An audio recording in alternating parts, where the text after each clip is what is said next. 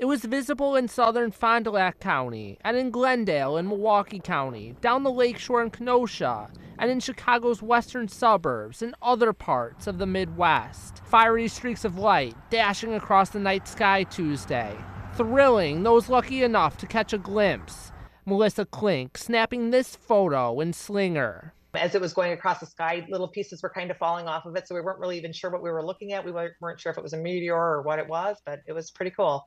On their Facebook page, UW Madison's Department of Atmospheric and Oceanic Sciences, saying that what people were likely seeing was leftover debris re entering the atmosphere from a Starlink satellite launch vehicle. The UW Madison camera is also capturing the moment the debris streaked across the night sky. I don't even know how to describe it. It was just really something I've never seen before. Over at the Barlow Planetarium in Menasha, Terry Gee provided insight into the science behind what happened. Is, is when those go up, they actually have a gradually, we call it a decaying orbit. So gradually it's getting closer and closer and closer to the Earth. And when it gets to the right point, it starts basically rubbing against the atmosphere, our air. And it's going really fast. And so because it's going so fast, friction starts to build up and it heats up that thing until it basically incinerates.